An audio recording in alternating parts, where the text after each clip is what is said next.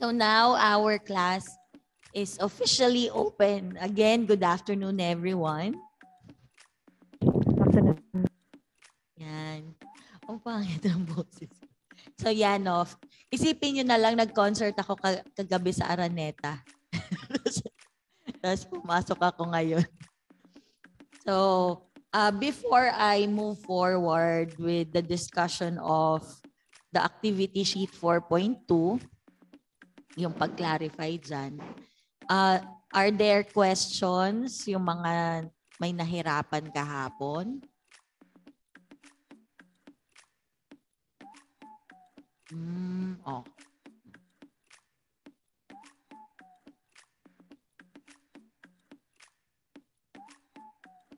Mm, so, kung mapapansin nyo, dun sa attendance form natin, may may question doon, no? So, may nag-suggest. So, iba-iba yan per day. Kahapon, ano ba yung question kahapon?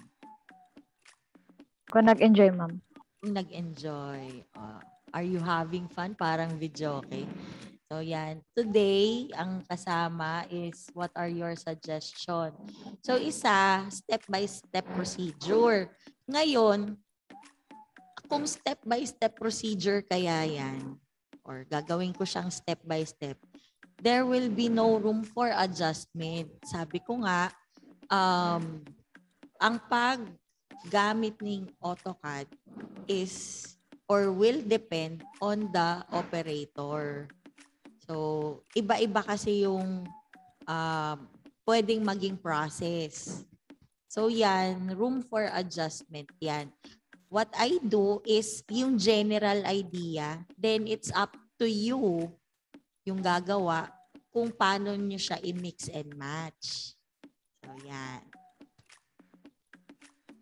Ah, padahan-dahan ng lecture. So yan o, kung medyo sa tingin nyo mabilis ako mag-discuss, pwede nyo nang i-chat or pwede nyo, ah, kung ayaw nyo yung makita ng lahat, um, na yung suggestion ninyo or yung question ninyo, i-personal message, anong tawag nga dito sa ano, sa, sa Zoom, Ah, parang DM, direct message, or i-PM nyo sa messenger ko. Ah, samples. Yan. Ah, What else?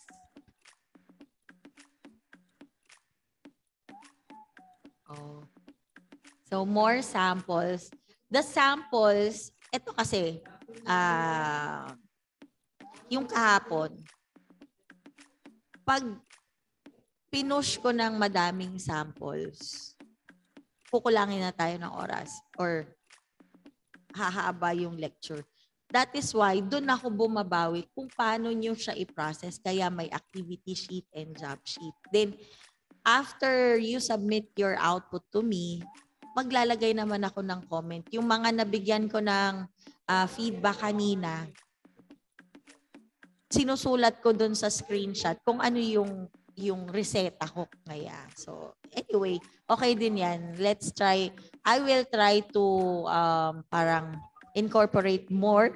Madami, eto konti pa lang. Sa mga susunod na topics, medyo madami na baka doon kayo, doon kayo umalma. So, yan. So, what else? Any uh, parang question dun sa an, saang part kayo nahirapan actually yung ano sa pinapagawa ko kahapon or ito lang etong letter C Ma'am, ako po, ma'am.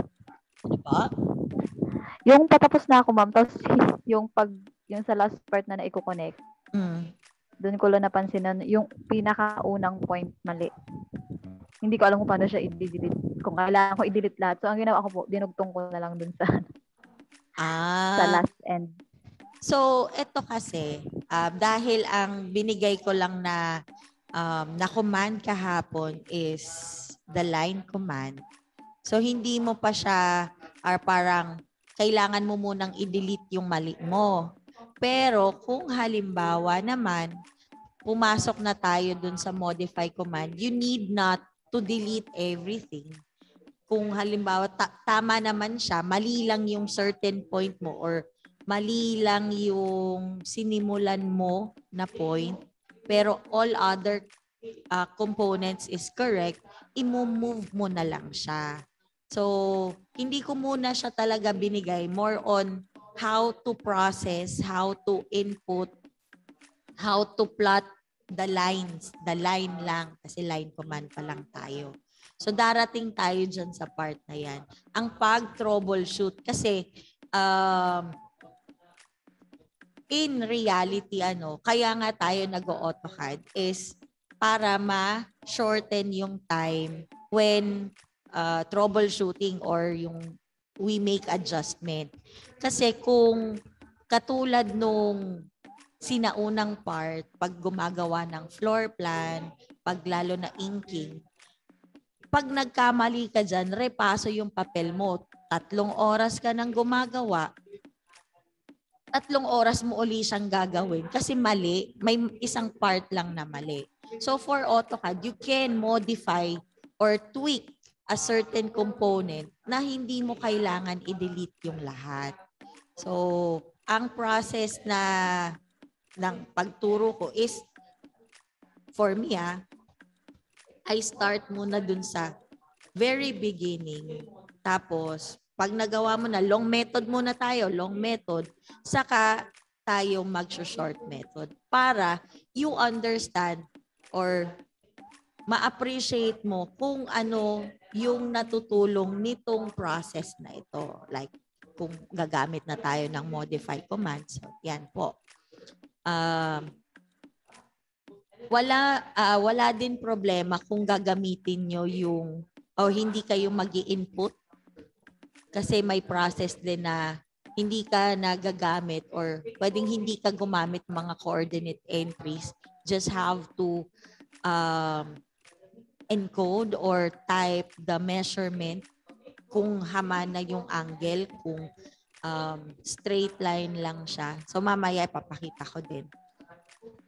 Uh, so, uh, nasa ba ako? So, ganon, pag, pag madalian lang, hindi ka nag mag-hashtag or hindi ka na mag-at command. So, i-input mo lang yung distance or yung length So again, depende rin yan sa strategy ng isang CAD operator or CAD user. Uh, what else? Uh, nasagot ba? Medyo na, nako-conscious ako sa boses ko. um, uh, sige, ano pa? Yung sa mga nabigay ko kahapon, the, the activity sheet, uh, 4.1, madali lang ito because uh, parang ay actually ano to eh. So for this one, 'di ba may letters na yung file na binigay ko. So one indicator na tama tama yung pinupuntahan nyo or tama yung direction nyo is hindi kayo duduta or the line you create will not touch the letters or the circle or letters dyan.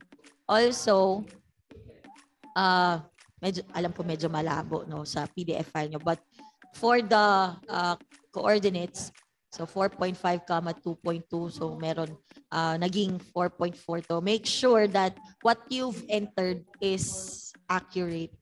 So yun din ang ano kay AutoCAD eh, accuracy uh, tsaka precision. Kung ang nilagay nyo is 4.4 tapos ang given is 4.5, hindi rin, hindi rin siya magiging pareho. Um, so for this one, uh, pwede ka, mixture ito eh. You can use uh, the absolute coordinate entry uh, because points are given. Tapos, you can also use the uh, relative kasi kung straight lines lang siya, uh, provided naman yung length or yung change, then the angle, yung length at saka yung angle. So sige, um, before we proceed to ano na lang, to the draw command, um, samplean ko muna ito, itong 1, 4.1, activity sheet 4.1 and activity sheet 4.2. The 4.1, itong part na to, more on angles. 4, 4.2, ay mali. Mali ang naklik ko. This one, may analyzation na grabe. So, dito pala mapapansin nyo, isingit ko na din, na when when inserting dimensions or may pag nagda-dimension tayo, hindi naman lahat kailangan given. So, dito i-analyze nyo ano bang ano ba ang gustong iparating ng nag nagplot nito. Then sige, mamaya na lang yan. Proceed na muna tayo sa 4.1 para dire-diretso. So here I what I'll do is this is one of my techniques or one of my process para madali akong uh, makagawa. So, lalo na kung isa lang ang screen nyo, you, uh, parang laptop lang or computer, wala kayong pang dual screen. So, dito kay AutoCAD, I'll, uh, nakasakto na ito eh. Uh, hindi, not sakto talaga, pero gumawa na ako ng isang uh, blank file or new file, drawing one. Then, ipipaste ko either you screenshot from the from your module tapos i-paste nyo control V control V sa drawing area. So, parang image lang siya. Now, ay, nasa na? Wait. Okay lang yan. Then, zoom out, you scroll, scroll pababa, scroll out. Siyempre, hindi na, hindi pa naman ito on scale. Uh, pwedeng mas let me check the distance here. So 264 masyadong ma, uh, malaki. Uh, what I do once na naka-paste na yung image, image file natin, you will go to view, view tab, nasa ano yan ah, nasa ribbon, view tab, Then here, under model viewports, you click the viewport configuration. So, ito, excuse, you have options. You can do two vertical, two horizontal. Parang dalawang screen, parang ini-split mo lang yung drawing area mo into two. Or kung uh, gumagawa na tayo ng solid model for module module 3 kung gusto niyo gamitin the four equal para iba-ibang uh, views, the top view, front view, uh, side view. So for now, uh, we'll do or I'll do, I'll use two vertical. So ito ang lalabas niya. You have two screens, two, two separate uh, uh, viewports siya. But if you modify here, of course, you can see this on the other side. So, yan. Delete ko muna. Tapos, for this part, dito syempre yung image para ito yung makikita mo. Tadan. Tapos, dito ka mag-draw. I-pan mo na lang papunta sa pa left para dun sa free. Tapos zoom mo na lang because this is, uh, the length here is 264. Ang gagamitin lang natin is 3.1 or ito yung measurement. So dapat medyo mas malapit sa origin. So you can zoom. So yan. And again, uh, it's my personal preference. I'll turn off the grid.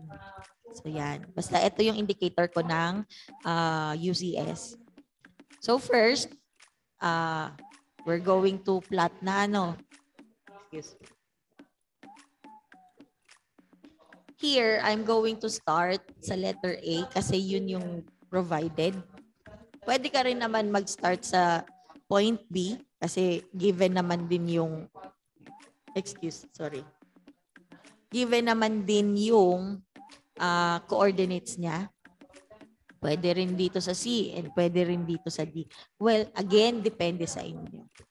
So, but syempre letter A, doon ako magsa-start sa letter A. I'll zoom here. Kiklik mo lang doon sa uh, viewport na gusto mong gawan. So, pag kinlik mo dito sa right side, mag-activate. So, color blue yan, yung ating drawing area. Pwede na tayo mag-start. So, line command. Okay. Ah, hindi naka-on ang aking dynamic input. So, so line, enter. Specify first point. That's 1, comma 1. Enter. So, nandoon na siya. So, nandiyan sa, sa ilalim. Tama lang naman yung ating posisyon.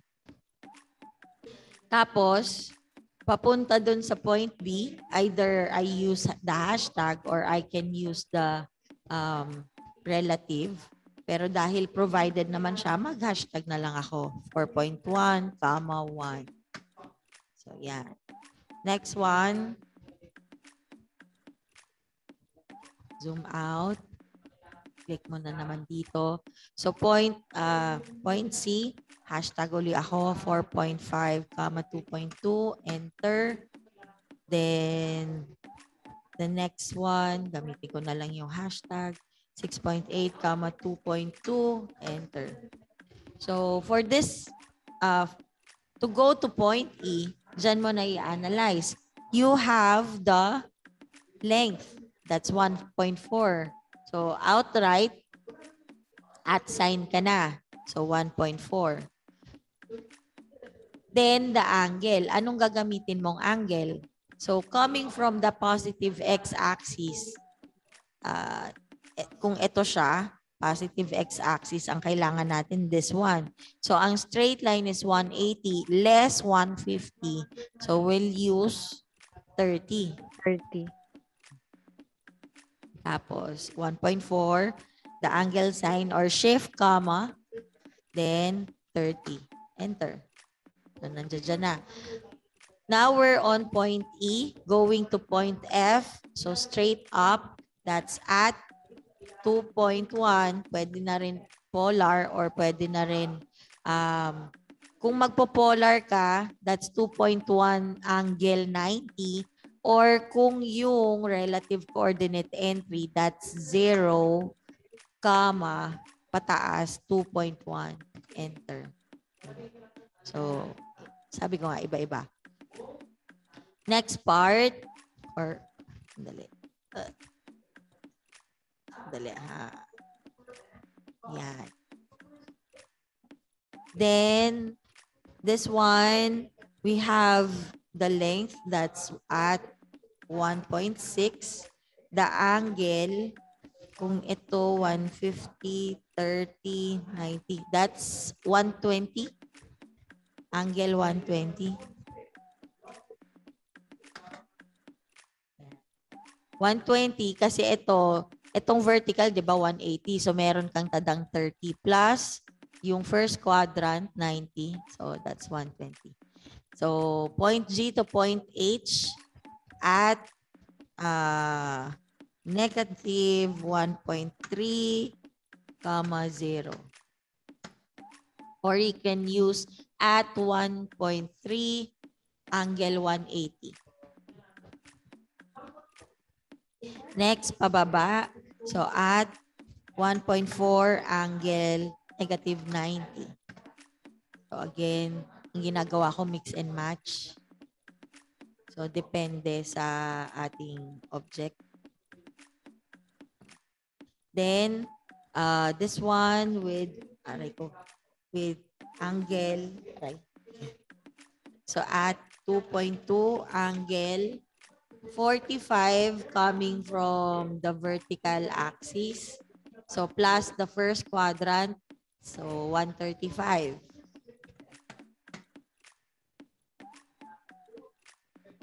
Then, ito at 1 angle 180. Then, dito naman, we have 150 or 1.5 rather. Tapos, ang angle niya, 45 coming from the negative x-axis. So, pwede mong gawin yung 180 plus 45 or 180 minus 45 pero yung result negative.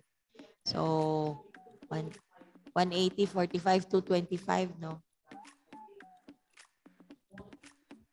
At 1.5, angle 225.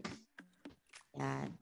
Then another straight line. So at 1, angle 180. Then, ay parang may, I think, may mali ako dito. Pero, ah, sige, tingnan natin. Then, ito, 60. So, you can use at 2.3 angle, negative 60. Then, next one, para hindi ka na mahirapan, either, either, either you click this one, yung endpoint, or uh, type C to close, provided na doon ka nag-start sa A. So, yan. Ay, hindi ko sinave yung ano. Okay. So, for us, or for you to uh, check kung tama naman din yung ginawa nyo, hindi ko pa kasi kayo binibigyan ng um, kung paano mag-annotate. Doon lang tayo sa uh, pag-measure. So, here, sa home tab, magme-measure lang tayo ah, sa home tab, under utilities, we have the measure. So here's a measure. You can measure the distance, the radius, the angle, area, and volume. So for now, we're going to use the distance. Pwede rin mamaya yung angle. So let's, pwede nating i-check. So click the distance. Diba, ito given. So this should be 3.1. Click mo lang. Ah, dapat naka-on po ang ating object snap para hindi na, hindi kayo magtatansya. Makikita nyo naman yung square kung midpoint something. So, endpoint to endpoint. So, kahit hindi mo i-click, dyan pa lang, mahihiling mo na 3.1 or 3.100. Okay. So, escape. Then, press uh, space bar to re, uh, uh, parang to activate or yung previous command to activate the previous command. So here, distance na naman. Select distance. So, dito naman tayo, 2, 3. 2.3 dapat ito. Ayan, 2.3 nga. Then, escape. Let's try the angle. So, ito angle. Select mo ito at saka ito. So, that's 150. Well, tama tayo. Okay. So, paano? Paano i-check yung precise point or yung given point. So aside sa measure, you can use ID. Asa na yung ID? Wala yung dito yung ID. Okay. So, bakit wala yung ID? Yan, ID point. Nasa drop down. So, for me, ang ginagawa ko, uh, tinatype ko na lang ID, enter, tapos, kiklik ko lang dun sa point na gusto ko malaman yung location niya. So, for this one, this should be 4.5, 2.2. Ano? O, click ko itong endpoint. Lalabas siya ngayon dito sa command line. So, the X value is 4.5, Y value is 2.2. Of course, because this is 2D, ang Z value mo is 0. So, yan po. Uh, that's how you can check. Ah, okay. So may naisip akong question, hindi niyo ko ni-question. Ma'am, paano kung ang nakikita namin is ang value or ang pag nag-check kami, ang value two decimal places lang. Sa'yo naka four decimal place. So, paano yan ginagawa? So, dapat um, you check or you type UN and that's for units. Enter. Nasa na yung dialog box?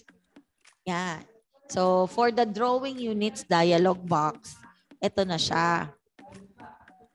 You can modify um, the type sa length, sa ating length and the precision. Also, the type sa angle, also the precision. Kung ano yung insertion scale nyo or um, the lighting. Actually, hindi ko yan ginagamit. Ang usual na minomodify ko is this one. The length and the angle. Pwede ka nga dito mag-clockwise eh. Uh, for the length, wala akong ini-specify kung gagamit tayo ng inches or feet. This is uh, unitless yung mga um, binibigay kong drawings. So, it's up to you how you apply the uh, the units. Pwede naman kasi na kung ang pinrovide ko ngaya, sabihin ko, i-inches ko na lang ito, provided na i-inches, paano ko i-convert sa millimeter? So, hindi ko na siya pinapa-scale. Uh, yung parang papabago ko yung um, laki ng object. May gagamitin lang yan sa annotate. So, hindi mo na siya babaguhin. So, yan. So, pero wag nyo nang, wag nyo munang i-concern yan. So, this one, for the uh, length type, you can use decimal, architectural. So, makikita mo naman kung ano yung um, precision niya, kung ano yung format. So, for architectural, yan, ang precision 0 to 0, 1, ay hindi, 1 16th of an inch. Tama ba? Inch ba yan? Oo, kasi ang 1 ganyan is feet. So, for engineering, ito.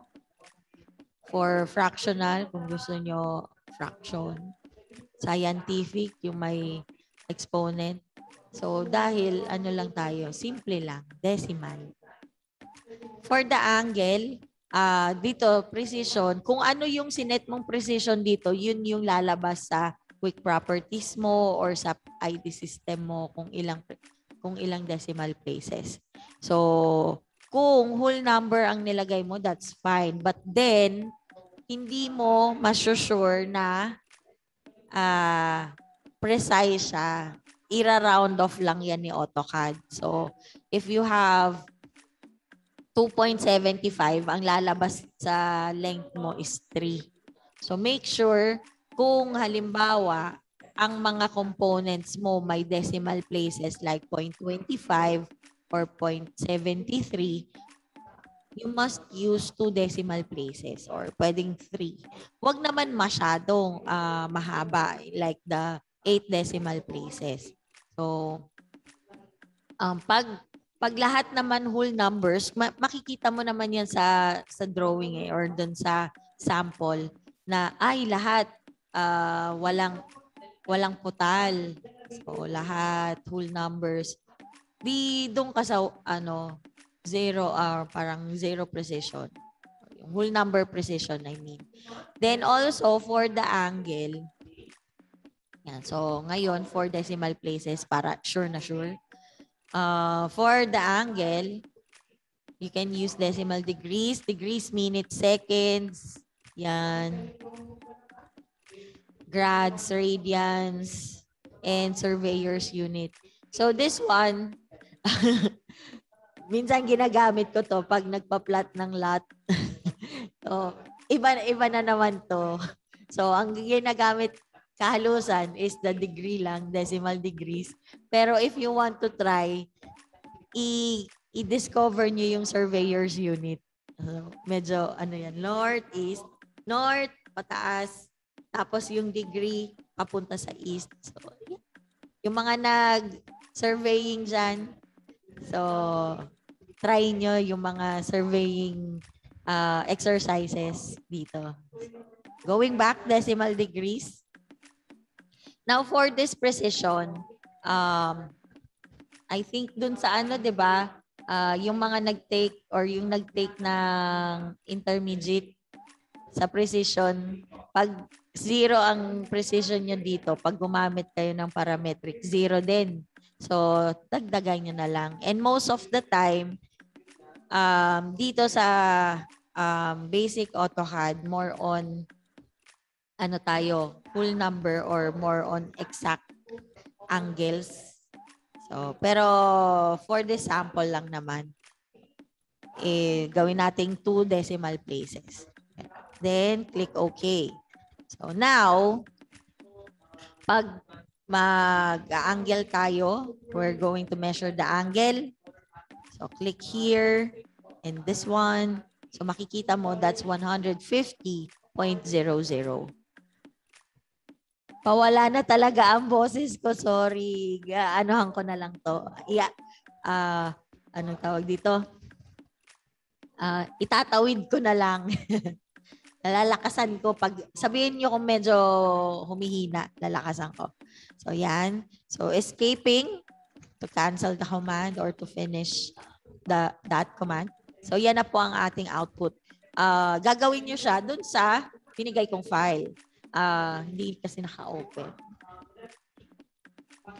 Ang ginagawa ko po kasi, halimbawa, ah, mag-check na ako. Para alam nyo lang din. Ah, let me just pull out, pull up yung aking key to correction. Nagpara-concert ako. Dali. Key. Key number four. So, that's the key. So this one. This is my key to correction. Kahit hindi siya um, sakto dun sa point. Ang kailangan ko lang is the object. What I do, select yung key ko, then copy. I'm going to paste it here. Tapos yan, ano? Then, syempre hindi ko pa tinuturo, pero the move command, I'll move this dito sa ah, sa end mo. So, wala akong problema kasi lapat siya. So, ibig sabihin, tama yung ginawa ko. kasi tama siya eh. Tama siya dun sa keto correction. Now, kung ang ginawa ninyo ah, sa ibang location, again, wala ding problema. Machi-check ko pa rin kung tama yung object. However, mag indicate ako, oh, this is not 1-1. Oh, dapat 1-1. Ganun lang. So, ganyan ako mag-check. Now, I'll undo. Ngayon pa lang sasabihin ko na para uh, matry nyo na din. If you want to join this or parang maging isang object, either you uh, command or you key in J for join or you just have to group it na lang. So this is, uh, ang join kasi ginagawa niyang polyline or uh, ano, tama, P-line, polyline, yung object mo. Parang polygon. So, this one, irregular polygon. Kasi ang, ang mapapansin mo, dahil line command ka, individual lines po yan. Eh, syempre, baka ma- ma-delete mo ang isang component, ganyan. So, you just have to select yung mga lines mo. Then, key in J for join. Then, enter or space bar. So, pag sinelect mo na siya, makikita mong nag-highlight yung buong object. So, this one, this is polyline na. Hindi na siya line. So, ito line pa. Now, the other one is join. Ay, join. I mean, group. Ginugrupo mo lang siya. So, again, you select muna yung mga components mo. Then, type G, enter or space bar. So, this one, line 14 components na nakagroup. Hindi pa naman, hindi ko sinasabing i-group nyo or i-polyline nyo na. Ah, nasa sa inyo yan. Sinasabi ko lang ngayon para at least may other information kayo a- aside dun sa um, line command or the draw command. It's okay kung naka-individual lines yan. No problem. Ito, part lang to ng additional information. Eh? Okay. Sakit. Next. So for this one, tama naman yung object. I'm going to move this on some part kasi gagawin natin yung letter C. Ngayon, before we proceed to this one, i-analyze natin ha. Ito, i-analyze din natin sa paint para nakakasulat ako. Okay, nasa na ang aking pen? Okay, sige.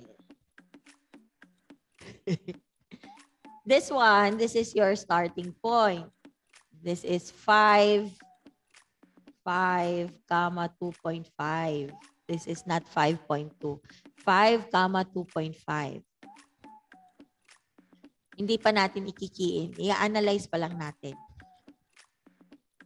Para itong um, rectangle na may length na 15, crush na lang. May length na 15, may height na 12.5. This is 12.5 ah. Now, kung galing dito, papunta dyan, this is 10. Provided itong katal na to. Okay. Ang pinaka-error dito, or madalas nagiging error, is hindi pantay itong height na to sa height dito. So, ba- parang imbis na paganyan din siya, kulang siya, ganyan lang. So, this one, mir parang mirrored lang siya eh. Yung may isa kang rectangle, tapos sinlice mo or binawasan mo siya ng pare-pareho sa kada kanto. Okay? Huwag pong malito. Huwag malito na may given kang 45. 45 degrees. Um, paano ba? Sa geometry, geometry, no? When creating a triangle, yung right triangle, ha? Pag sinabing right triangle, ano, anong indicator na right triangle siya, guys? Ah, 90 degrees po ang measurement. Yes. So, either dito or pag ganyan. Basta may 90. Tama? Right. Right triangle. Now, kung equal ang length or ang sides niya, ang length nito, equal ito, of course, your angle is equal also dito, 'di ba? Because a polygon, yung inside ah, angle niya sa triangle, 180. 180 ang sum, eh may right ka na dyan na 90. So, 90 na lang natatanda. Eh, nag-equal ka ng length here. So, your angles are equal also. So, divided by 2. So, 45 degree ang kada side. So, theta 1, theta 2. Okay. Nag, magmamat ako. Hindi. Ah, so, yan. Kung hindi ako nagbigay, kung hindi ko, ay, dali. Wait, erase, erase. Ah. Delete. Kung sa aking nakaslant, this is 2.5. Tapos, this one is 2.5. It indicates that your angle here is 45 degrees. O ngayon, tanggalin ko ngaya itong 2.5 tapos may 45 ako dito. Still, ah, hindi mo kailangan malaman kung ilan ito. Kasi yun na yung indicator, 45 degree na siya eh. Malaman mo lang itong length na to, equal siya dito, 2.5. So yan yung ah, clue here sa letter C na to. You have 40, ah, dito sa kabila, the 45 one. Then, ito naman, 2.5, 2.5. So, wag niyo pong gamitin na 2.5, o sabihin natin, ah, galing ka dito, ano? Ah, ha? The red one. Galing ka dito, pupunta ka doon, ang i-command mo at 2.5 angle ah, 45. This is not equal dito sa length na to. 'Di ba? Kasi this one, this Etong inclined mo, hypotenuse na yan.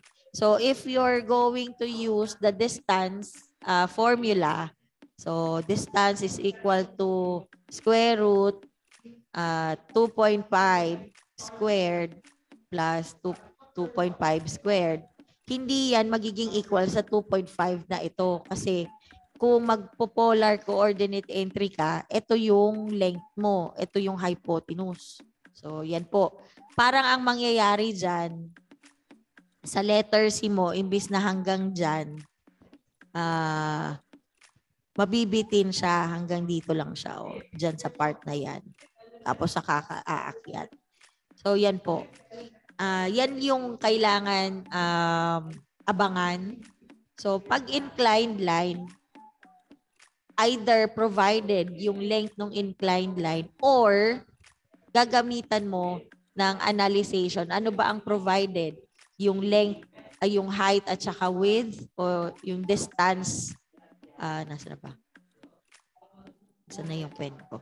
Yung distance na ito at saka ito ba ang given? So you can use the um, the relative coordinate entry or pwede naman yung length provided tapos yung angle. You can use the polar coordinate entry.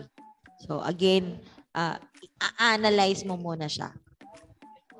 Also, same thing dito sa uh, sa loob na uh, katal or na inclined. So, I have here 1.25 na height or distance. Ay wow, may nagsabi pwede mirror. Wala pa tayo sa ano, wala pa tayo sa uh, modify command. Nasa draw pa lang tayo or nasa coordinate entry. Pero pwede niyo gawin pag nag-modify na. So, this one, you have 1.25 as your height and may indicator ka dito. Nasa na yun? May indicator ka na 45 degrees. Then, outright, this is 1.25. Okay? Similar din dito sa ilalim. So, this, the length here or the measurement here is 1.25. Okay? Uh, ano pa yung nakita kong error. So, more, more on, ano, um, arithmetic na kulangan. So, may, may kumulang, may sumobra, hindi sumang-ayon dito sa values or sa length dito. Yan. So, gawin natin. Yan na, pag-analyze.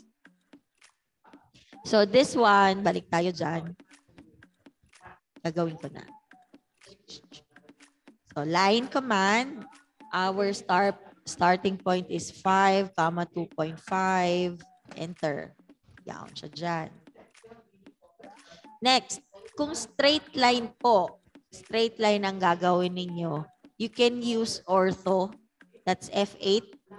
So, mapapansin nyo sa pag-ortho, kahit naka-hover, diretso ko na no, pag naka-hover yung ating cursor, kahit taas mo lang, ang line na nakikreate niya, zoom ko, zoom ko. Yan. 'Di ba? Straight, horizontal. Now, kung medyo i-tilt ko pataas, ang mag magagawa niyang line is straight up. You you need not to indicate yung 90 degree angle or zero. You just have to input the length. Yung yung length ng iyong ki-create na line. So, that's ortho. So, pag naka-off ang ortho, dito, parang ganon din ang gagawin niya. It will follow the direction of your cursor. Pag naglagay akong 10 dito, yan yung gagawin niyang 10. The direction of your cursor before inputting or before ka mag-input ng value. So, I'll undo. So, this one, F8 again para ortho? Or hindi? Kasi magko-coordinate entry nga tayo. Shortcut na naman itong ginagawa ko. So, F8. So, our length is 10. So, at 10 angle 0. Yan na. Zoom out. Okay. So, this one, ano sa tingin nyo ang gagamitin nating coordinate entry para magawa itong katal na to? Tatal? Incline? Inclination?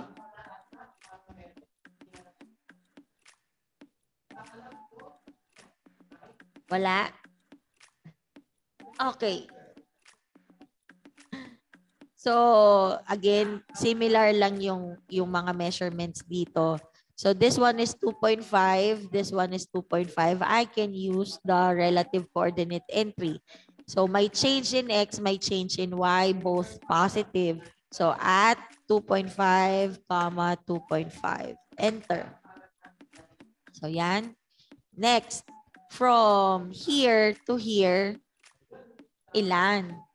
So, ang total height nito is 3.75 less 2.5, you have 1.25. So, I can use 1.25 angle 90. Yan. Then, for this line, so, pakaliwa siya, I can use 5 at 5. Nasaan na ang aking cursor? At 5. Lahat ha. Na-cancel ko, sorry. So, line uli. I'll connect. So, ito yung gagawin pag na, na, ah, na-disconnect yung line ha. So, i-click mo na lang sa endpoint. Hindi problema kung hindi siya dire-diretso. So, at 5 angle 180. So, pakaliwa siya. Next, ilan naman ito? Itong line na to. So, again, the, the height or the distance from this point, itong point na to, papunta dun sa baba is 3.75. Magle-less ka lang ng 2, that's 1.75. So, at 1.75, angle negative 90. Okay. Ito na. This one. So, lahat siya 15. Less 5 is 10. Parang ako na, kinakausap ko lang ang sarili ko. Okay, it's 10. May width ka dito na 3. So, 10 minus 3 is 7. Plus or less, ito pang part na to. Oh. Ate Tina, oh, sige. Ikaw. Ma'am, question Yes. lang po. Yung kasi kanina, yung sabi mo po, yung dito may ano, um, 1.75 angle. Ang ginamit ko po, 270. Pero pareho din yung lumabas. Hindi negative 90 yung ginamit. 270. 270 ang ginamit mo?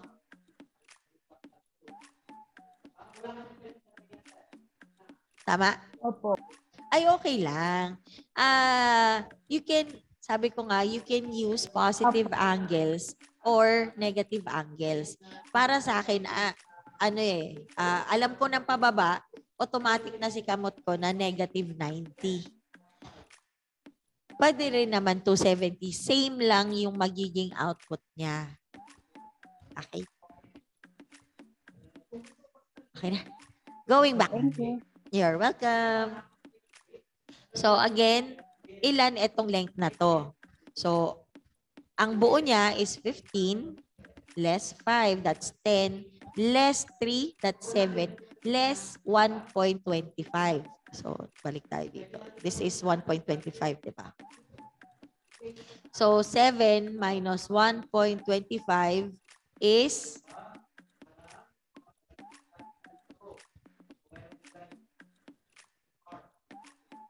is sure Dali. Ay, 5.7. 5.75. So, na, naputol na naman ang aking line. So, line command. This is 5.75. So, at 5.75 angle uh, 180 or pwede rin, sige.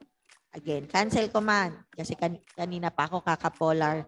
So, this one at kung gagamitin natin ang relative, so negative 5.75, comma 0. So again, similar lang din ang ang output. Wait. Okay. Next, yung katal naman dito. Again, we can use provided yung ano ah, provided yung ah, change in X and change in Y. So, yun ang gagamitin. Dun, aray ko, kahit kahit may value tayo na angle na 45 degrees, make sure kung gagamitin nyo yan, may value ka nung length mo or nung hypotenuse. And also, ngayon pa lang, I discourage you from using your calculator para makuha yung distance. Okay? What you have or the value you get when you use the calculator will not be the same kahit yun din ang ginagamit na ah, na process sa pag sa pag-compute ni AutoCAD. Kung matatandaan nyo, ang nakikita natin dito is yung last precision is 8 decimal places. So, kahit ang calculator mo nagbibigay ng 8 decimal places na na figure or yung mga decimal place na values, hindi pa rin siya magiging sakto sa result dito kay AutoCAD. Kasi may susunod pa yan eh. Hindi lang pinapakita ni AutoCAD yung sunod na decimal place or decimal value. So, again, wag wag na kayong mag gamit ng calculator. Gamitin nyo na si AutoCAD. Si AutoCAD na ang ipa-calculate ninyo. So, mamaya, uh, sasampulan ko, lalo na dun sa hypotenuse part. So, this one, we're going to use the relative coordinate entry. So, change in x is negative kasi pakaliwa. So, that's negative 1.25. Kama, pataas, uh, 1.25. So, yan na. Okay. So, na-calculate or nandiyan na siya sa part na yan. What we need to have now is the length of this vertical line. So, same din, analyze ang ang length niya or ang total height niya is 12.5 less uh, 4 kasi 2 on each side. So, 8.5 minus 1.25 times 2. That's 2.5. So, ilan? Ulit. Uh, 12.5 minus 2.5 is 10. Minus 2, 8 minus 2 is 6. So, yun ang ilalagay natin na values at 6. Angle 90. Mahilig talaga ako sa polar coordinate. Yan. So, nandito na tayo. We're going to create this inclined line again. So, based on uh, the change in X and Y, pareho na naman siyang positive. So, at 1.25, 1.25. Yan. So, this one naman, uh, similar lang siya ng value dito. Ano na nga yan? 5.75 ano. So, at kung relative, 5.75 comma 0. Again, ano lang yan, mix and match. Then, ilan ito? 3.75 minus 2, 1.75. At 1.75, angle, yung ginamit ni Ate Tina, 270. Pababa. Same. So, at 5 angle, 0, enter. So, pakanan siya, straight line. Then, ilan na? Uh, 1.25 pataas.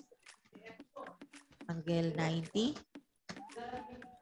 So, yung katal na naman.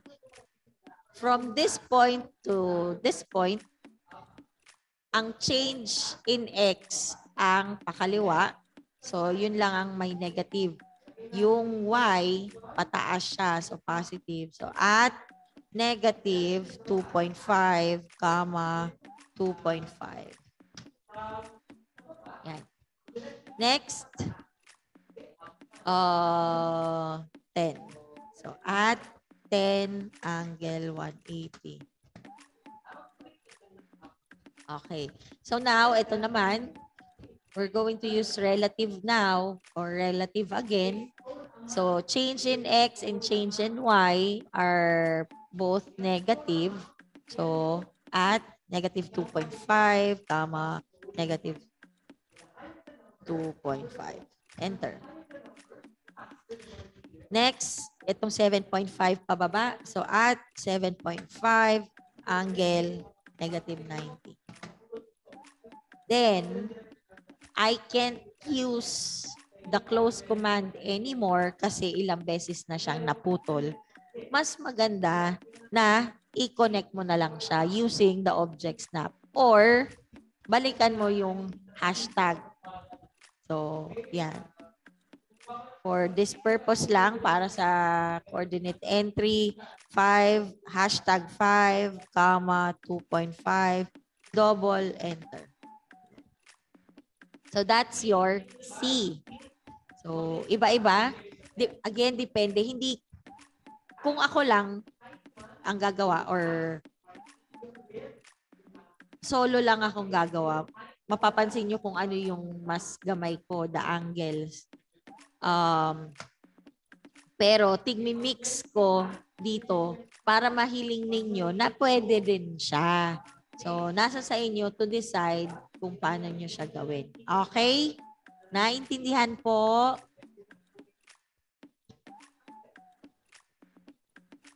Yeah, thumbs up naman dyan. Thank you. So, before proceeding, may question? May question ba? Inom lang ako tubig.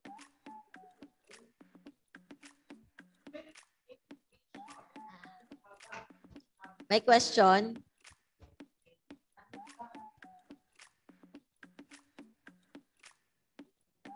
Ah, wala.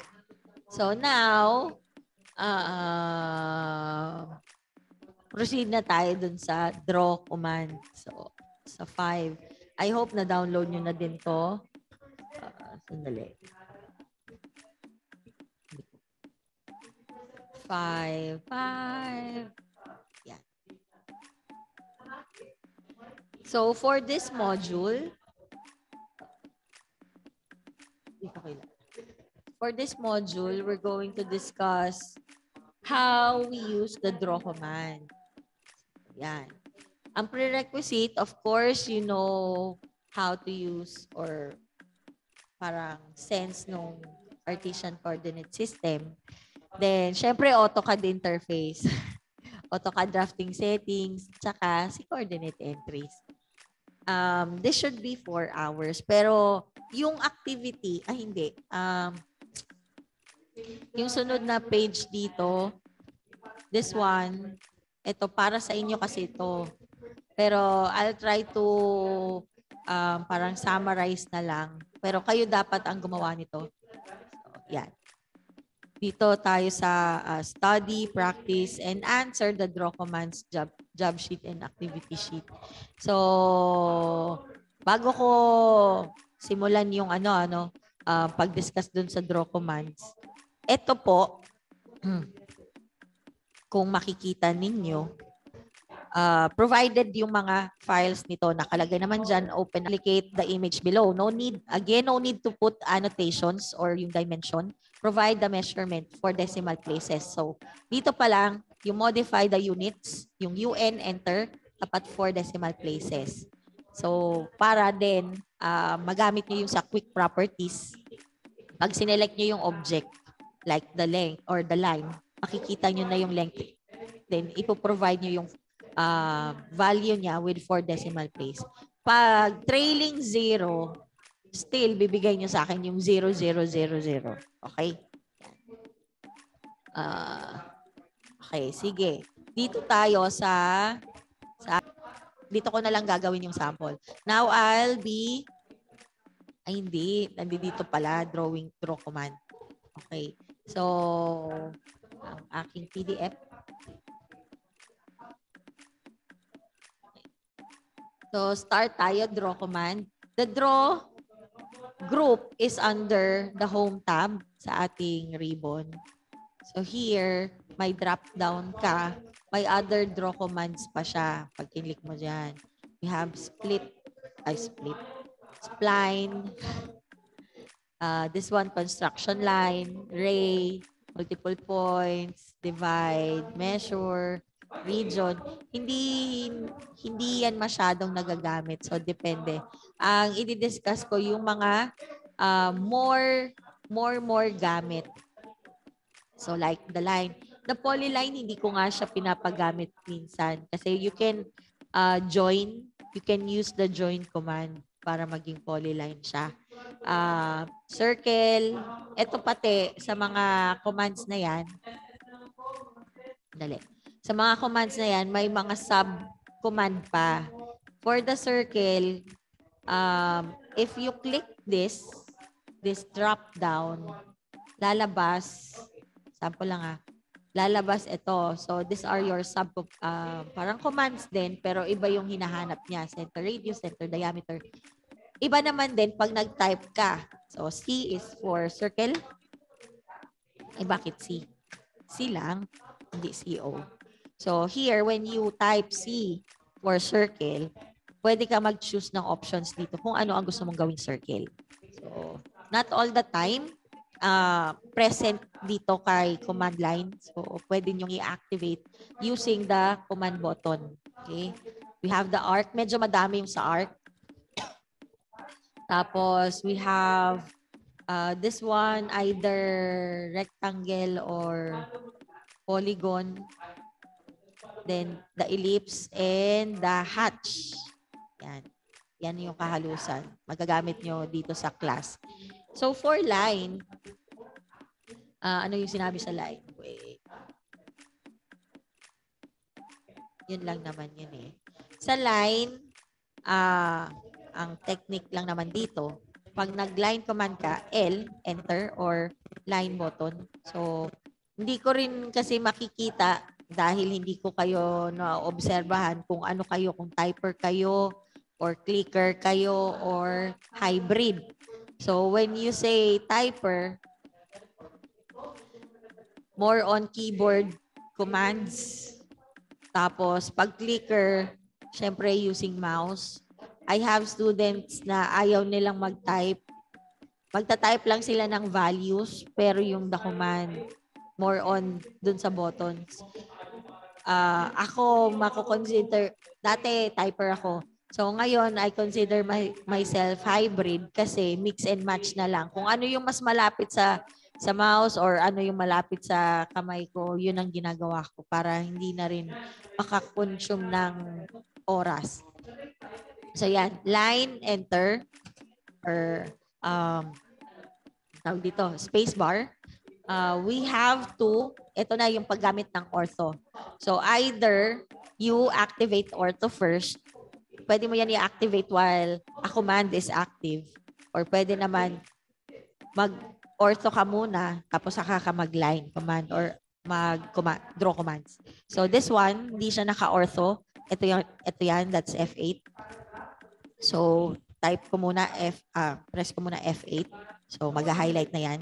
Uh, sabi dito, click on the line, uh, press, uh, click anywhere pick any point inside the box. So, click. Tadan! So, ito yung sinasabi ko kanina na pag naka-ortho ka, pag tinilt mo lang or nag-hover is a horizontal line. Straight. Yan ah, straight.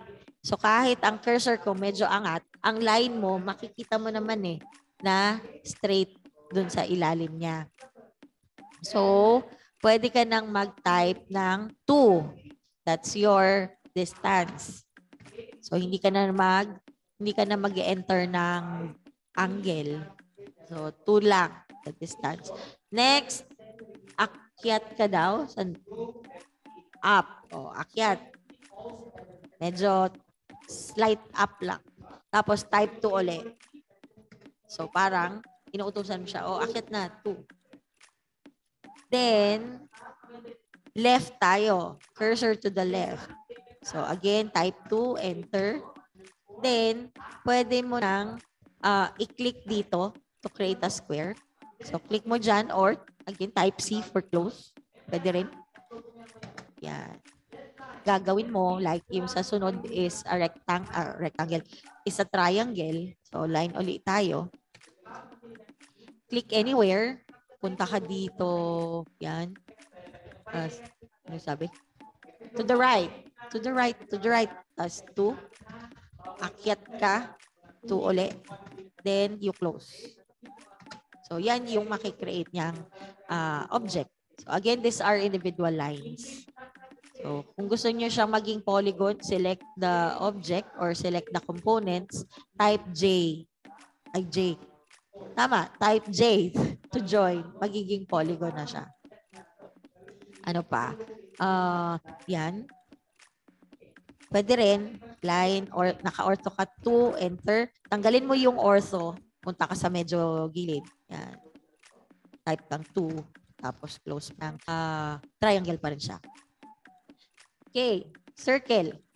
Um, again, pwede nyong uh, i-select ito. Ah, click nyo yung circle sa um, sa draw command na group or draw group.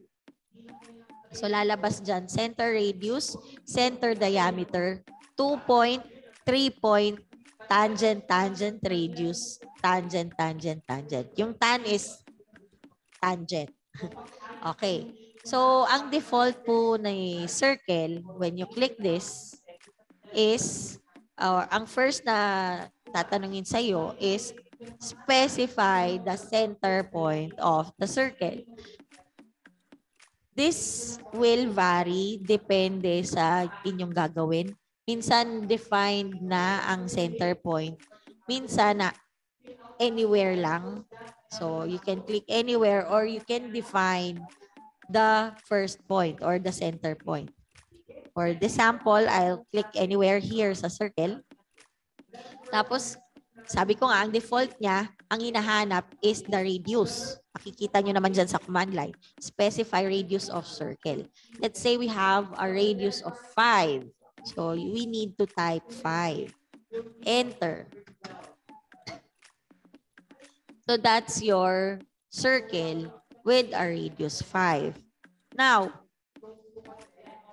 kung hindi mo i-click yung ah, circle button, under circle command, the C, enter, pwede mong i-change kung ano yung ibibigay mo. Sabihin natin, ang gusto kong i-create na circle with diameter 5. So, still, ah, dito na naman, click anywhere. Center point, point, center point muna. Then, kung diameter ang gusto mo, or diameter ang given mo, you can type D habang activated yung circle command, or you can click the diameter dito sa command line.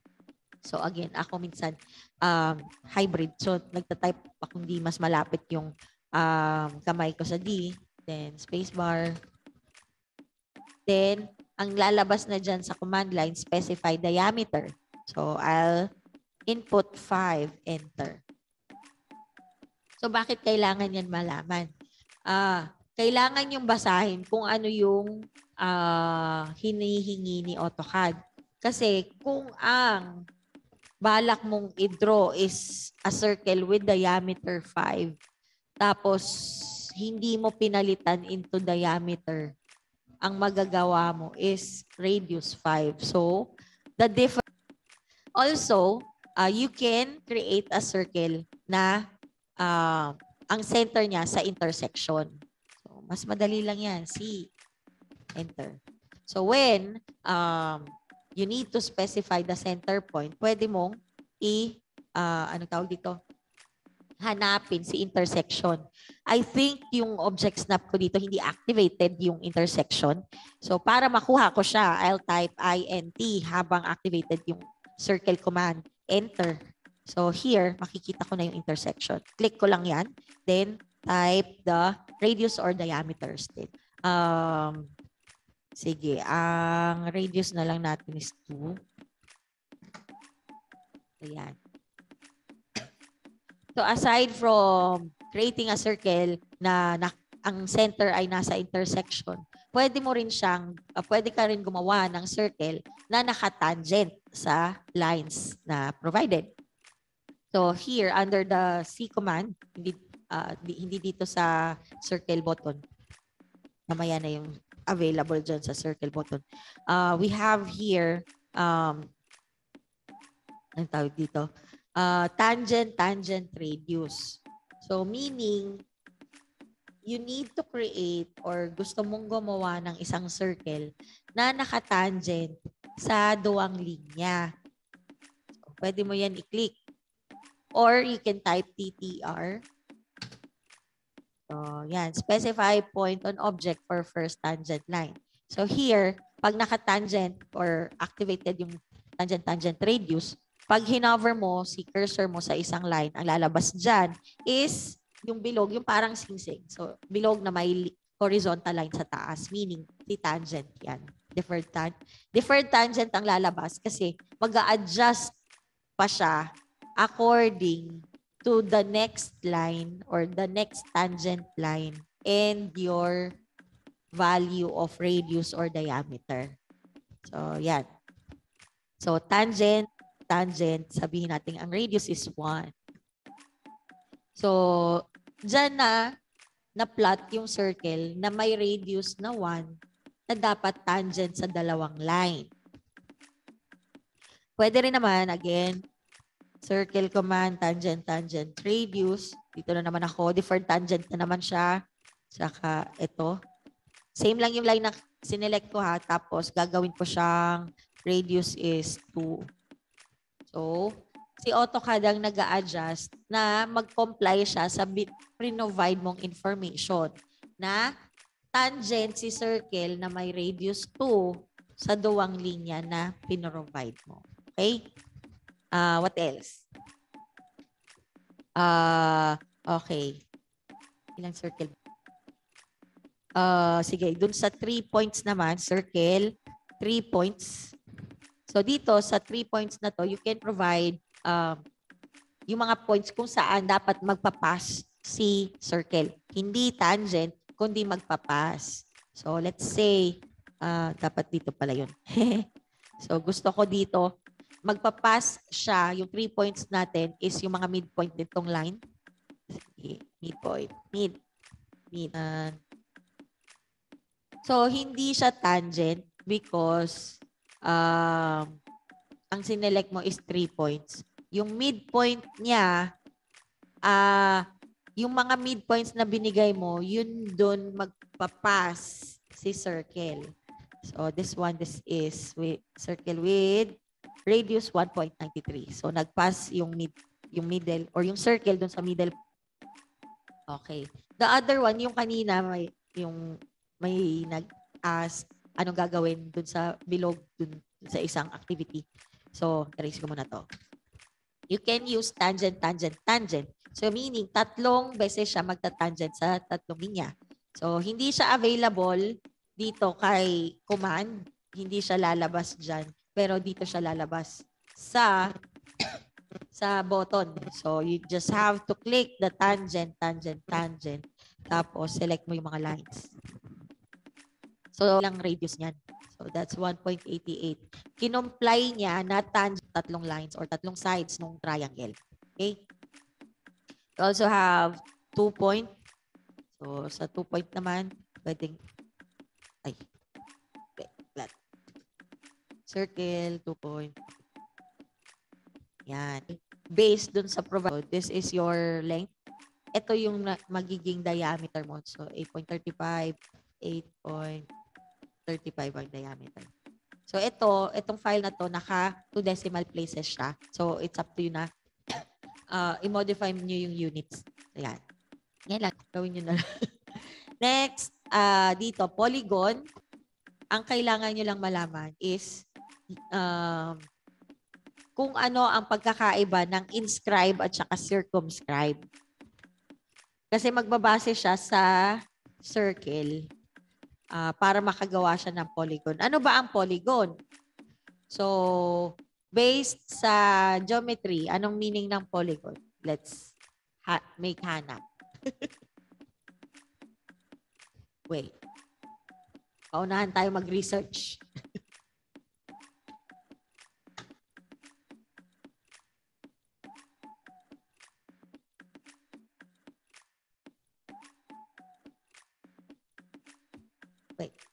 Dali. Ah, polygon. Hindi. What is a polygon shape? Closed shape with straight sides. Ah, dapat equal side siya. So, pwede naman irregular polygon, meaning hindi equal yung mga sides niya, pero um, straight, walang curve. Ah, ngayon, yung pag regular polygon, ah, same length yung mga sides, kaya nga regular. So, magbabase siya sa um, sa circle. So, the polygon. So, first here, babasahin ninyo pag inactivate yung polygon uh, command is it will ask you to enter the number of sides. So, dito, hindi nyo naman kailangan tandaan kung anong tawag dun sa mga sided polygon. So, ang kailangan nyo lang ibigay is yung number of sides. So, may default siya dyan, pero ah, depende. Yan yung last I think ano eh. ah, yan yung default pero pag sunod na na polygon command kung ilan yung yung in-enter mo previously. Yan. Sabi dito, may nagbigay a plane figure with at least three sides and angles and typical five or more. So, yan. Basta equal sides. Siyempre, kung two side kung two side lang yan, hindi naman yan polygon. Dapat minimum of three. Uh, here, uh, if we enter, sabihin natin five. Five sides. You need to specify the center of the polygon. So, dapat center nung circle. So, pwede naman dito anywhere. But for this sample, para maintindihan natin kung ano ang inscribe at saka circumscribe na polygon. So here, I'll select the center of this circle. Then afterwards, it will ask kung inscribe in a circle or cir circum ah, circumscribe about circle. So first, inscribe muna tayo. Tadaan! Then for the radius of the circle, kailangan natin ang quadrant or nearest, pwede rin. So, itong quadrant, pag ginamit natin, ito, ah, parang yung quadrant ng circle. So, ito yung magiging itsura ng five-sided polygon na equal sa, ang radius niya equal sa quadrant nitong circle, which is uh, 6 ang rad, uh, 3 ang radius. Okay. So, another one, repeating the polygon command and entering the side. So, enter lang yan kasi pareho lang, 5. Specify the center. Then, we're going to choose circumscribe. And again, dito tayo sa ah, quadrant ang gagamitin. Kung ano yung pinili natin dito sa kabila. So, yan, quadrant. So, sino pong makakapag-describe anong pagkakaiba ng inscribe polygon sa circumscribe polygon?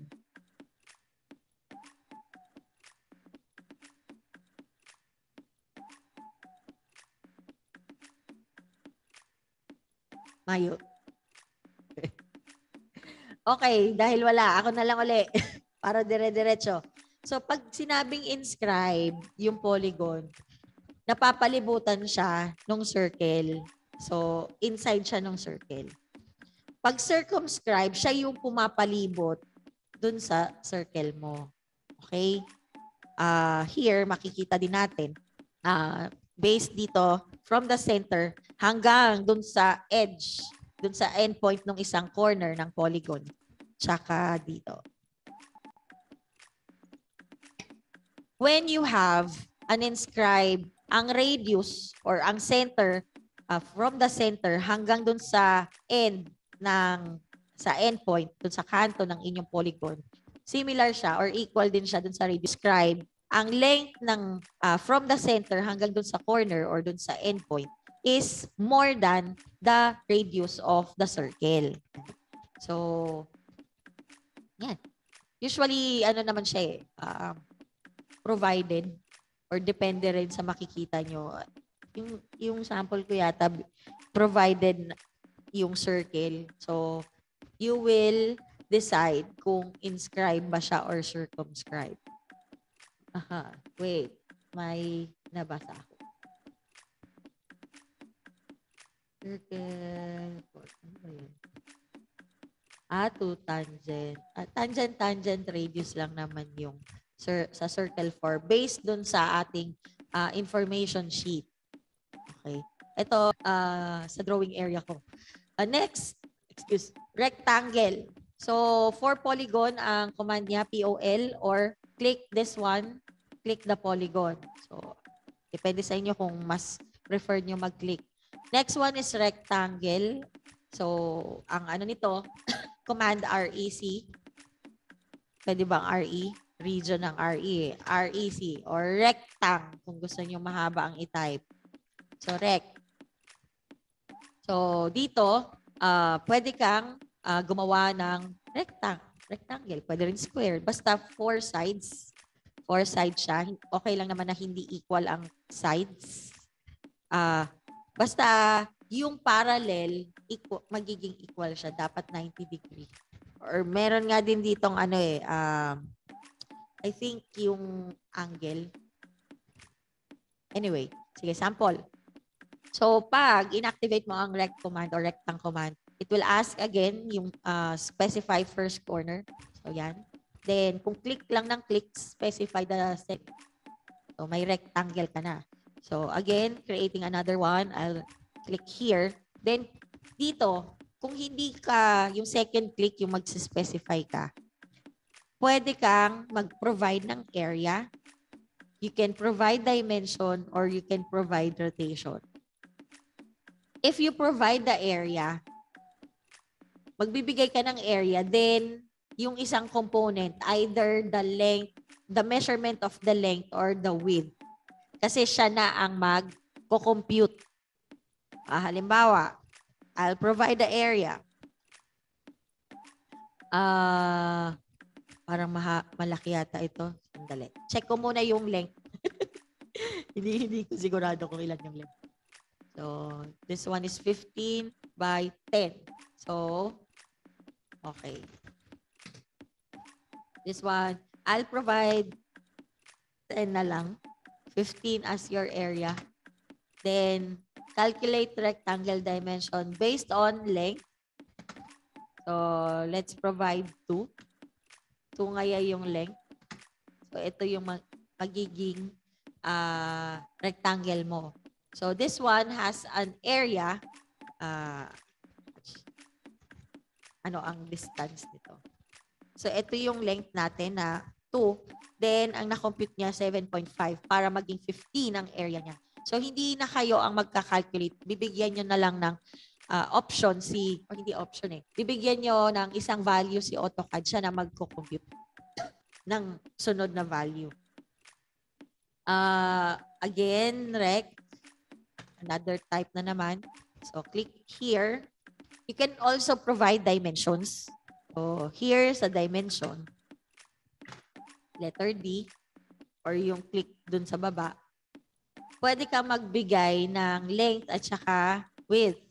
Uh, sample, let's have the length 3, enter, and the width is 5, enter.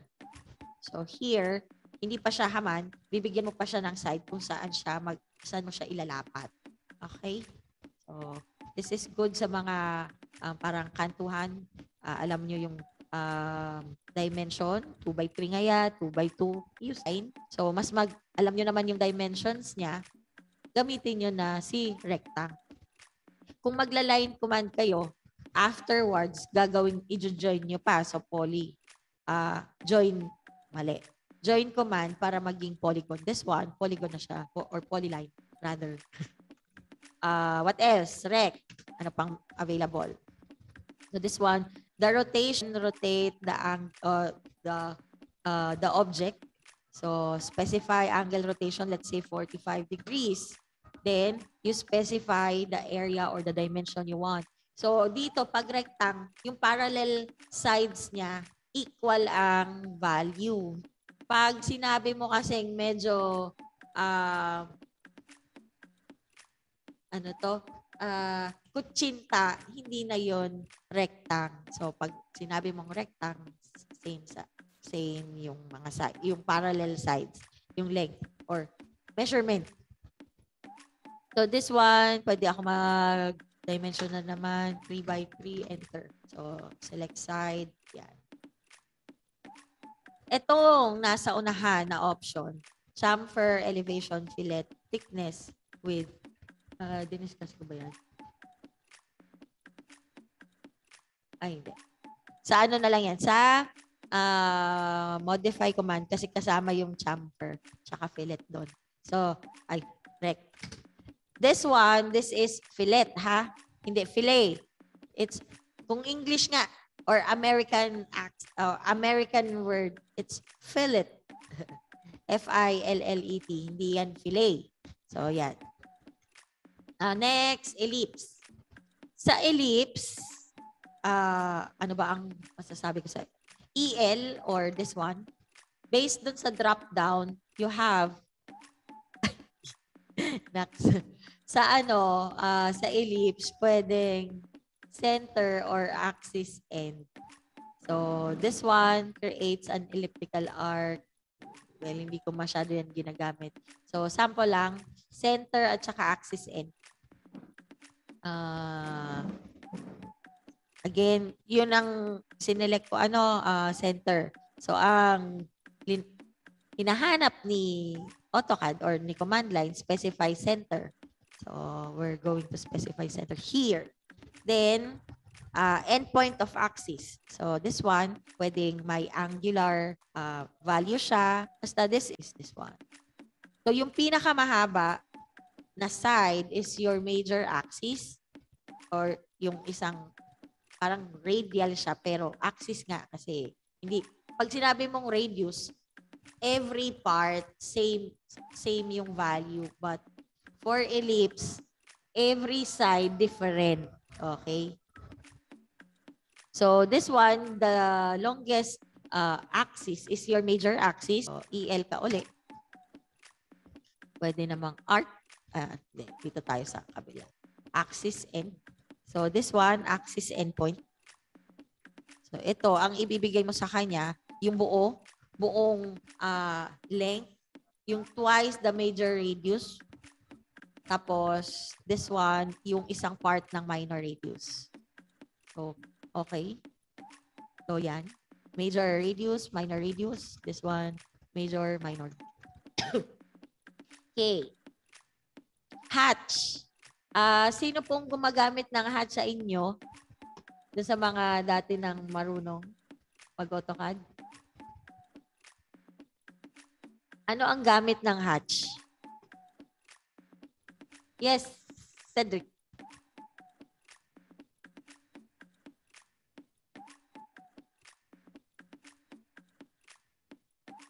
Parang shading o one way o shading, pwede rin. Tapos, ah, uh, anong tawag dito? Mga design para to indicate na ito pala ay gravel, ganyan.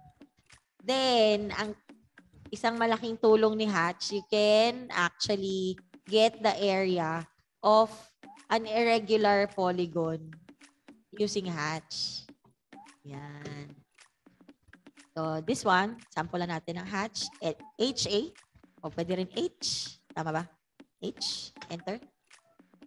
So, kailangan mo, sandali, nasa na? Huwag kang maghahang. Ayun. Dali. Ayun. So, sabi daw, pick internal point. So, kailangan yung i-hatch mo closed.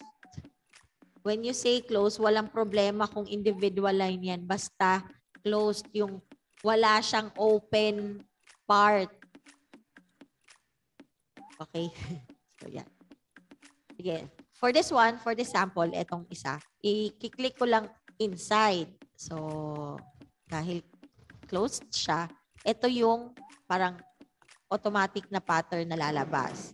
You can also choose from here. Uh, la- pag nag-hatch command ka, lalabas ang contextual tab na hatch creation.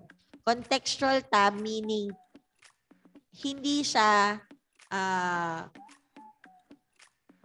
anong tawag dito? Hindi siya permanent sa inyong ribbon. Depende kung inactivate mo siya. So, parang sa ah, Microsoft Office, may mga contextual tab din na lumalabas. Kasi hindi mo siya pwedeng isa, ipagsama sa, sa ribbon kasi dadami yan. So, according to use na lang. Shading, you, you can have solid line, you can use this one. Oh, so, depende sa gagamitan. But, um, kung very simple lang naman na hatch, pwede naman din ito, ay yung kanina, this one. Tapos, uh, ano pa? You can modify the scale. Pag halimbawa masyadong malaki ang inyong uh, hatch area.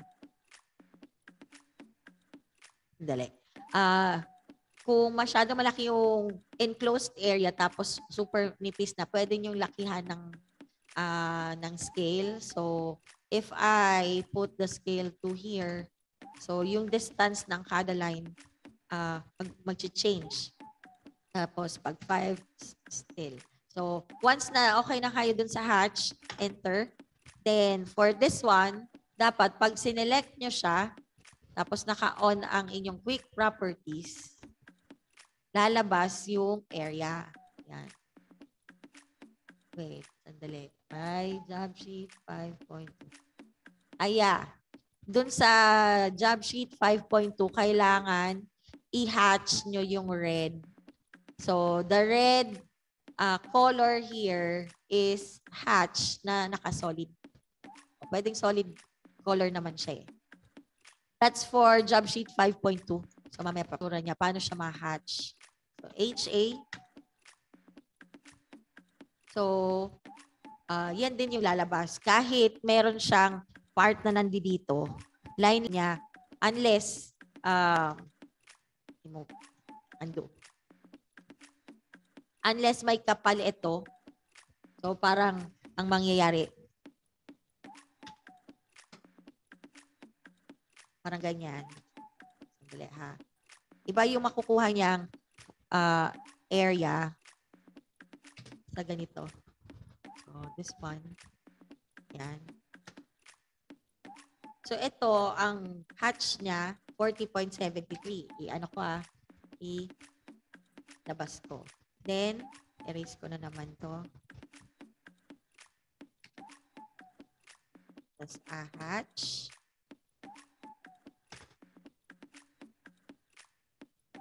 Forty-three point seventy-four. Ginawa key na uh, uh, etong part na to, dinirection na lang niya. Kasi isang linya lang naman si Hatch. So, po si Hatch, dapat naka-on ang inyong QP or Quick Properties. QP. Yan, select. Tapos makikita mo yung area. So, yan.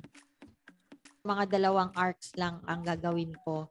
Um, you need to discover this for yourself. Tapos, may iba-iba kasi siyang gamit.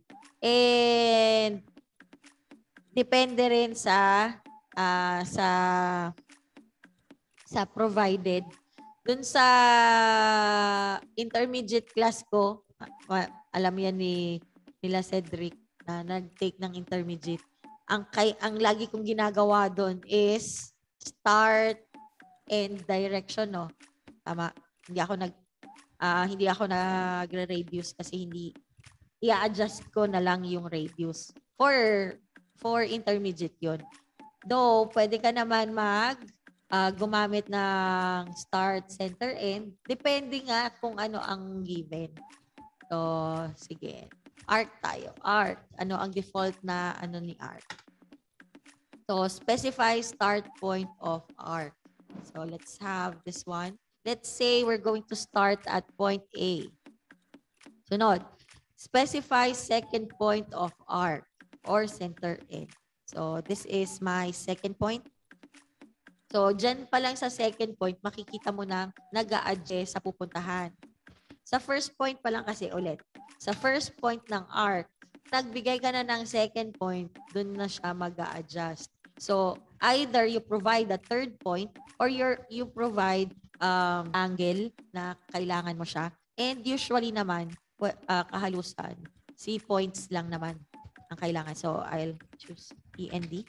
Like END. Yan. So, ibig sabihin, pag ginamitan ko siya ng art, kailangan ko ng 3 points. So, dito, ang ginamit ko, endpoint niya ngayon, ah yung radius na para mag-comply or madaanan niya si tatlong point na pinrovide mo. Okay? Yan yung default ni ARC. Excuse. Uh, start, center, end. Yan yung ah default. I think. Sige nga, start. Pareho lang yan eh. Center. End. Ah, iba. So this one naman, para ka lang gumagawa ng circle, pero may hindi siya buong circle. So pag ni- nilagay mo kasi siya uli dito, o- or sa malapit, para na siyang magro-rotate. Yun ang start, center, end. So if you uh, select this as your start, ang center mo is yung letter B, then yung end mo is letter C. Hindi siya mag end dun sa endpoint mo, dun sa C. Kundi dun siya along dun sa line na yan. So, end natin. 'Di ba? Ted, dito sa line na to. Okay. Sorry guys. Masakit na lalamunan ko. Anyway, so again, the the ways or yung step by step nung draw commands na sa inyo siya, kayo ang gagawa niyan. Pinahapyawan ko lang kayo ng mga parts. Hindi naman siya saktong-sakto talaga dun sa sample. So, ito lang yung ah, parang isang way ko pa, para gawin yan. Ouch. So, pag itong draw command na file, ang kailangan ko lang is, balik tayo dito. Sorry. Itong activity sheet, hanggang job sheet. So, limang file lang po ang ipa, i, isi-send nyo for the fifth plate or fifth lesson. Uh, here, um, magtatanong, ma'am, saan namin isusulat yung measurement? Uh, you just have or create a notepad. So, bali, anim na file. Limang drawing file or DWG file, isang notepad. So doon nakalagay yung summary. Uh, the length for uh, 5.1. This, itong ginagawa natin or itong nasa activity and job sheet 5, these are for draw commands lang. Ah yes, dun ah nilagay mo lang sa sa file mismo. That- That's okay, walang problema. Pero kung doon sa mga gagawa pa lang, doon na lang kayo mag-notepad na lang. Kasi wala pa akong tinuturong ano eh, ah, add text. So, yun. So, doon sa mga bagong ah, mag-aaral, na mag-aaral pa lang ng AutoCAD, pakilagay na lang po sa notepad. So, yung may mga previous experience na, kung gusto nyo nang ilagay within the file, sa loob ng file, that's fine. Lang, pag nagkamali, press escape.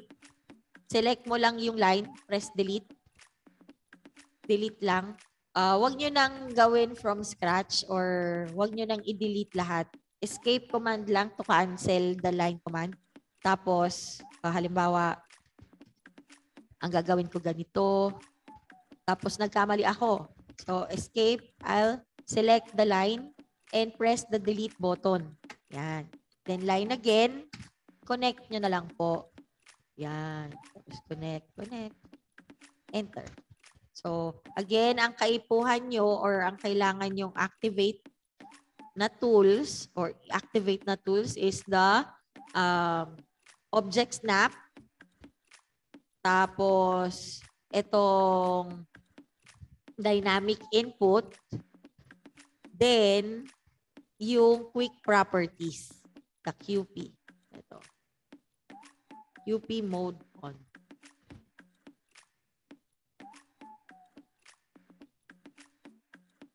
Ah, ah, letter B. Sab may nagtanong sa ah, job sheet 5.2. Okay, this is 5.2 ano? Ay, nasa dulo pala. Ano ang area sa B? Yung ano po, yung red. Hatch yung red eh, naka-hatch. So, yan po ang tinutukoy na area na hinahanap ng dimension. Uh, the dimensions are there for you to replicate, to use that as you replicate the object. Yes, minus the polygon. Itong part na to. So, yan po. Um, questions?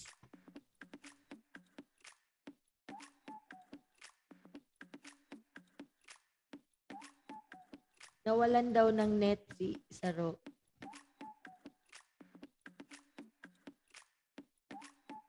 Guys, kasi yung yung ano talaga, yung una, dapat kayo ang gumawa para uh, ma-experience ninyo ito. Yan, hanggang dito. Questions, guys?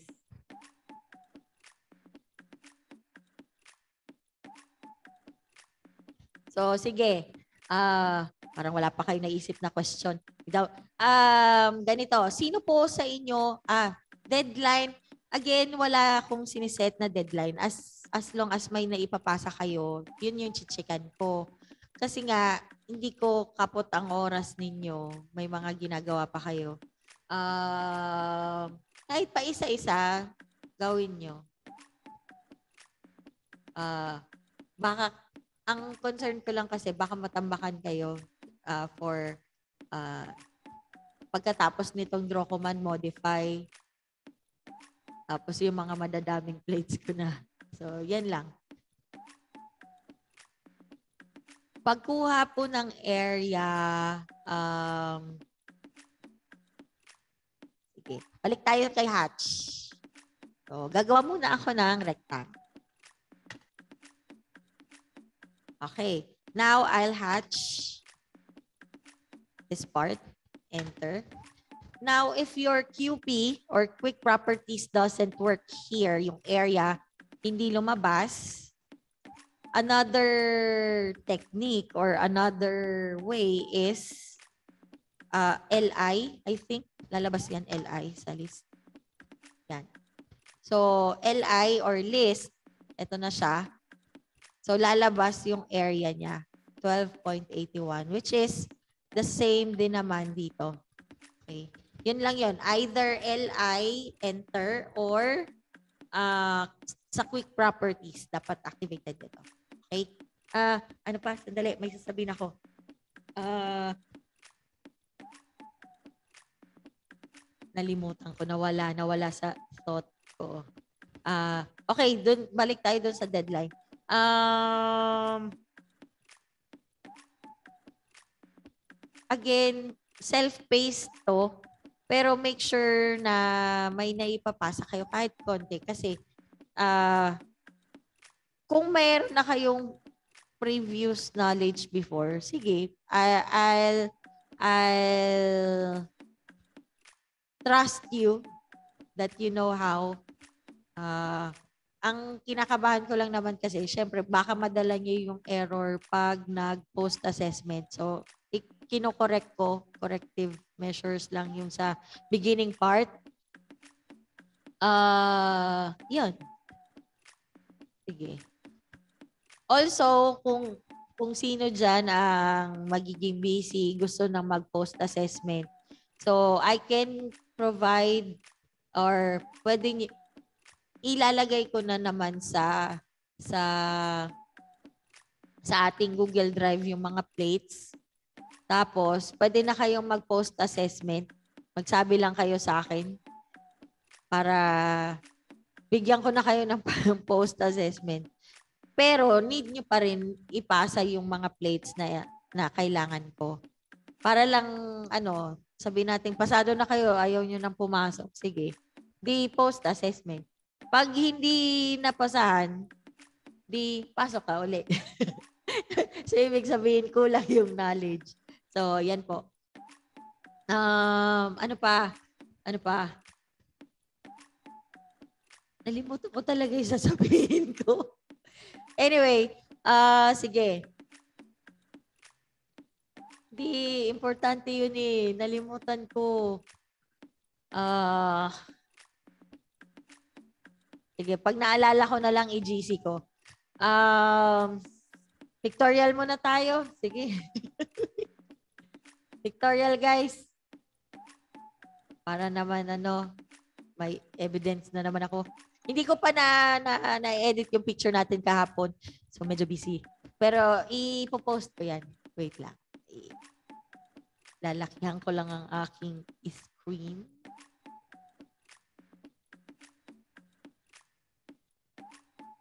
O baka habang habang nag nagpi-picture tayo, maalala ko, di ma-story ko. Yan.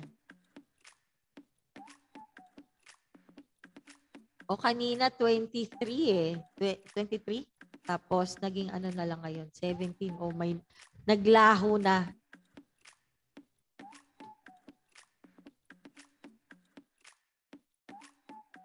Nasaan si screenshot ko? Nasa paligid.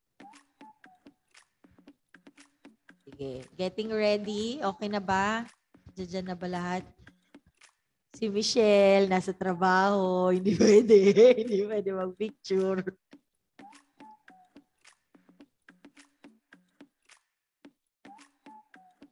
Okay, sige. Yung mga hindi available mag-picture, it's okay. Tatanggalin ko na lang. Ah, yan. Huwag mo nang gagalaw ha kasi dun sa screenshot medyo ah may may anong tawag dito? May tagal. Sige. Ayan na. Picture na tayo. Smile ah. O, ayan na. Cedric.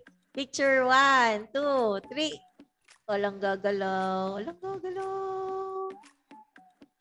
Okay. Gumalaw na kayo. Sige na. Wait lang. Iya. Konti ang sumasali sa picture taking. Ayaw, ayaw maano. Ay, yun pa, naalala ko. Sino po ang hindi nakaka-access or hindi nakaka-download nung video files natin? Meron ba?